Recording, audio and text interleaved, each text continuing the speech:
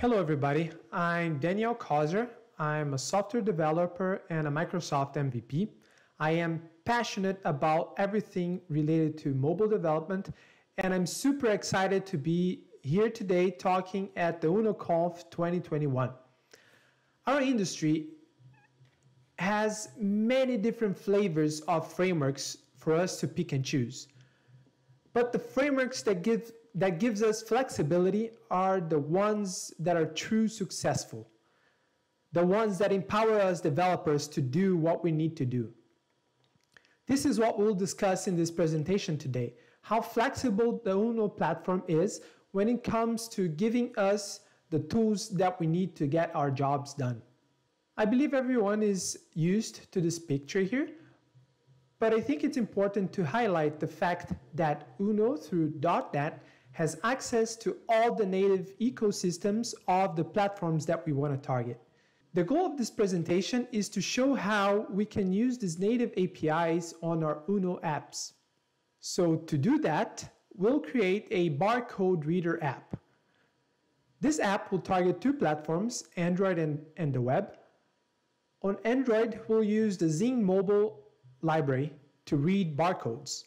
This is a library uh, available on the .NET ecosystem. It has implementations for Android, iOS, and other platforms. So our Android app will basically have a view with a button that a user will click and will be redirected to the camera of the phone. And the camera using the ZXing mobile library will scan for barcodes that show on the camera feed of the phone. Now for WASM, we'll use Quagga.js. Quagga.js is a JavaScript library and we'll import it to our Uno project. And with the aid of Uno helpers, we'll work with JavaScript on C Sharp. So first we'll create, uh, we'll have to create a HTML5 video tag that will load the feed of the webcam on the web page.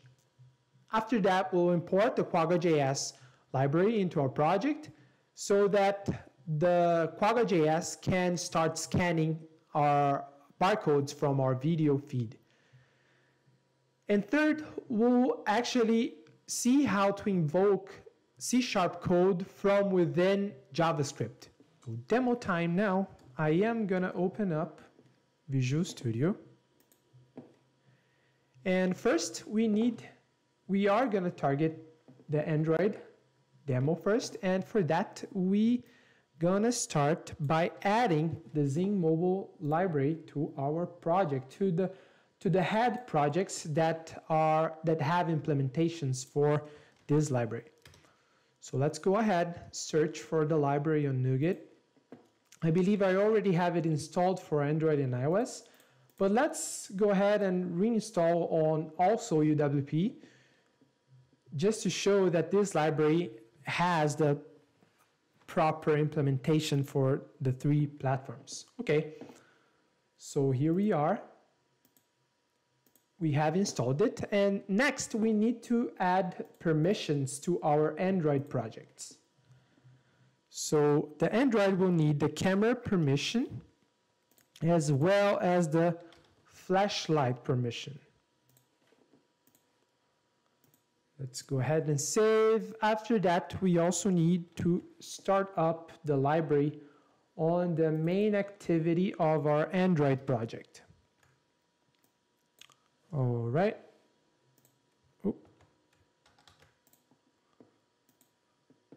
Okay, so IntelliSense is happy. So let's go ahead and go to the Uno shared project. And here we have a basic MVVM setup. We have the barcode reader service. We have a main page view and the main page view model. All right. So we are going to go ahead and add a contract to our interface that is going to be the one that reads the barcodes. Let's add the usings on the page.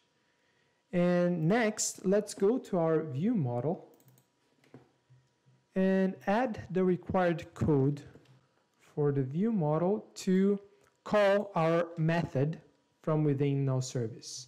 This is gonna be an async. And after that, uh, assign uh, the value of the barcode to a local property that is binded to our view. Now next, let's go to the implementation of our service and add the required usings for ZXing Mobile. And let's also go ahead and add the implementation of our class, of our method, right? So here we are, we are targeting Android. Android and also UWP here, we have the compiler directives. So we are literally calling two lines of code to be able to show the to show the camera and and handle all all the complexities of um, the flow of reading the barcode. I am gonna uh, be scanning barcodes from this phone. Uh, it's simpler for me to place the iPhone in front of the Android and make sure that it's actually uh, reading the barcodes. So let's go ahead and build the, uh, build and deploy to my local Android phone that I have here on my setup. And right now the Android phone is pointing to the screen of the iOS phone that contains the barcodes that we're gonna read, right? So while we wait, I think it's good to see that and to know that Uno runs on .NET, right? So we have access to the extensive ecosystem of libraries and tools available on .NET to our Uno apps, right? As long as they have the implementations on the targets that we are uh, pointing to, we have everything that we need uh, that exists nowadays on, on the .NET e ecosystem, right? So our app is currently building. I am also gonna open up um, Vysor, right? Is where we're gonna actually see, and you can see here the the screen of my phone, of my physical Android phone. And voila, we can see that the app has a button. And when we click on this button, the camera will open up and the value of the barcode will be shown on this barcode value here text box. So let's go ahead, click here. And you can see that it, it did scan the barcode and it was quite quickly. So let's go ahead and open a, a different one with a different result. So let's go ahead and voila, we see that it also has understood that uh, the barcode has this text, right? So wonderful. Um, let's go ahead and move on to the next step, which is targeting the web. So I'm gonna clean, undo my changes over here. And let's check out a different branch right now that will contain the starting code for our WASM demo. Now, for the next demo, I want us to take a look at the HTML5 component that we are we're gonna have to create. So it's called barcode scanner right here on the Solution Explorer. And we are gonna see that it's basically like a dummy class that has this method over here that we are gonna cover in a little bit. So let's just ignore it for now. We are gonna tell Uno that this is this is a a control. So this is a UI component. And let's also let's also go ahead and decorate this this component with some attributes. So these attributes are basically to tell Uno that uh, this component is going to be a div. And on the constructor of this class, we are gonna call a Uno helper that will allow us to create a child component to the div. So we are creating a video tag, and this is where our camera feed is gonna show on the web page. Now we have to go ahead and add our component to our view.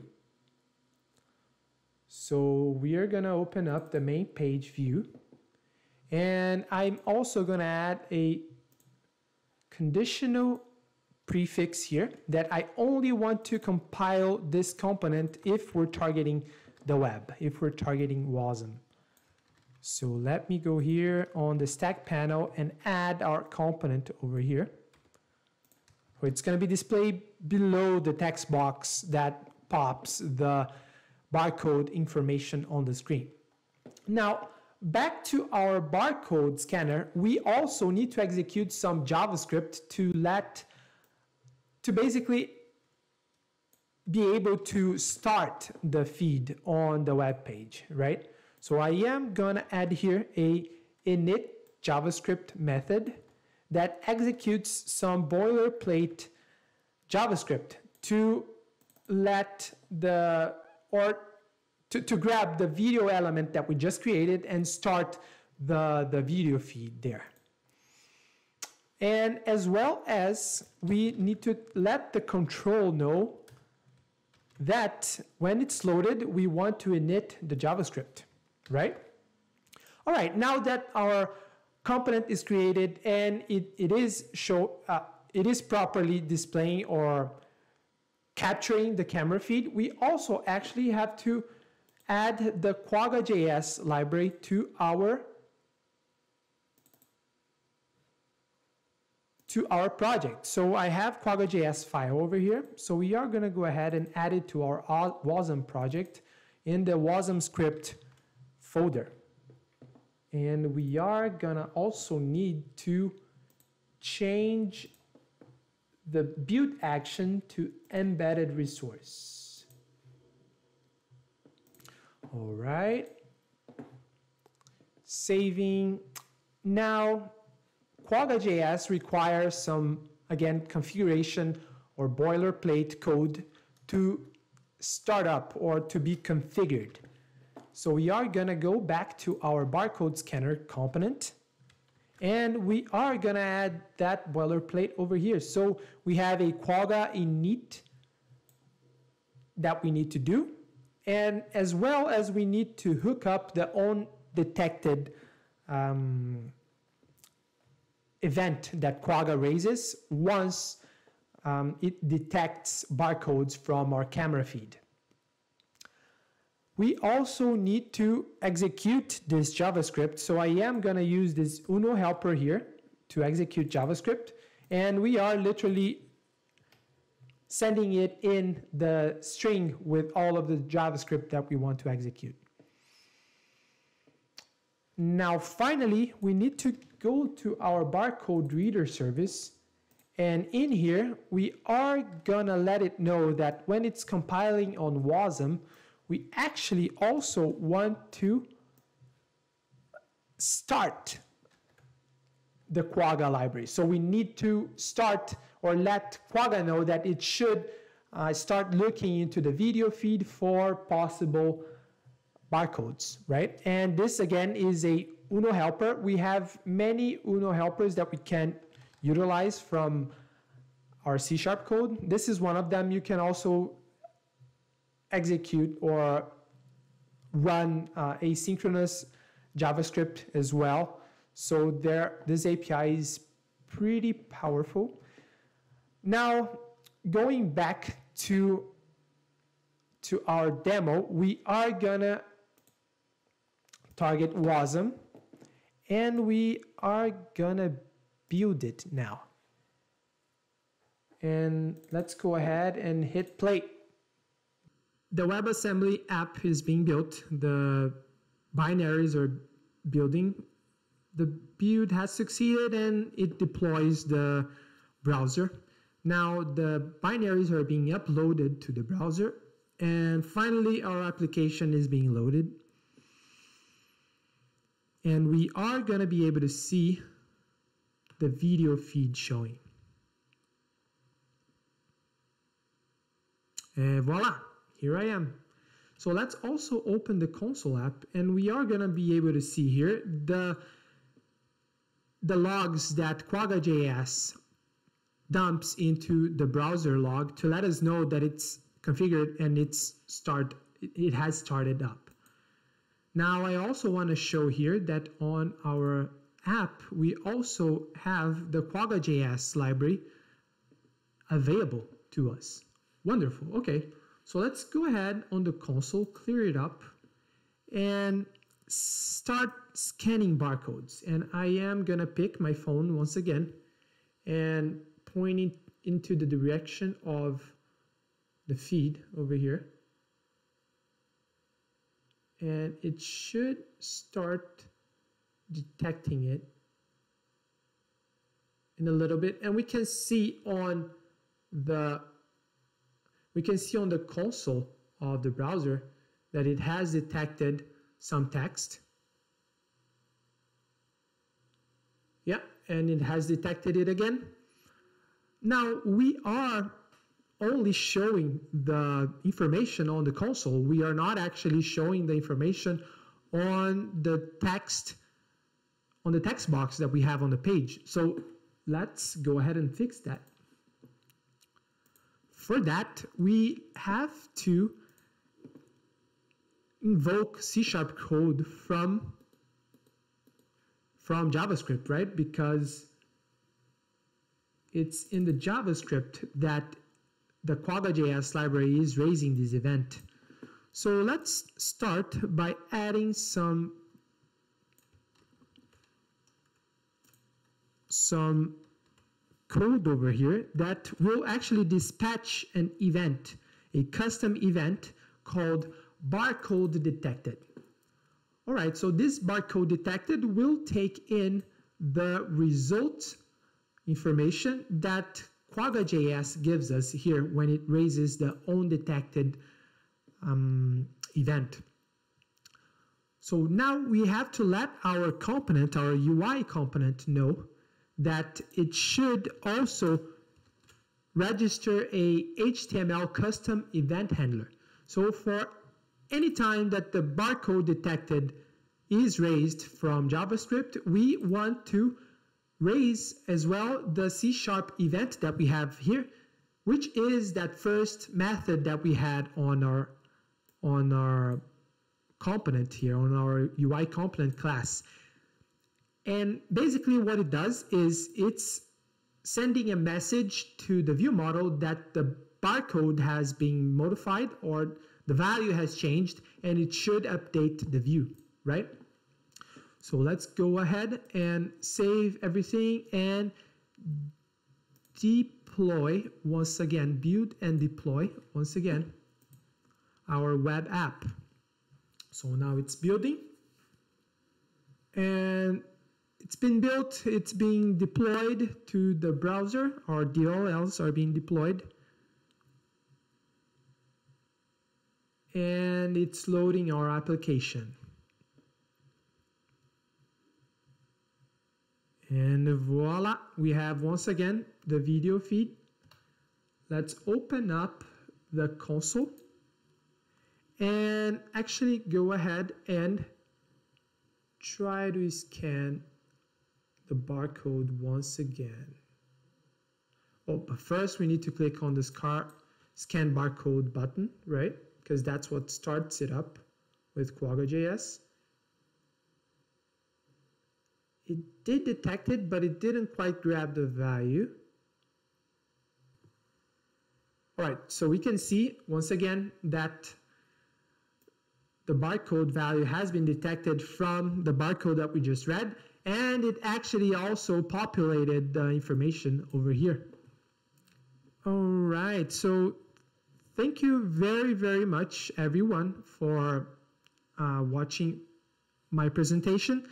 I hope that I was able to send a message and show within my demo how flexible the Uno platform is to use the .NET ecosystem, but also Uno gives us tools to that allow us to use JavaScript libraries that are out in the open and we can make use of them and and giving us the really the flexibility of working with whatever and whichever libraries and, and tools that we need on our projects. Thank you very much and enjoy the rest of the UnoConf.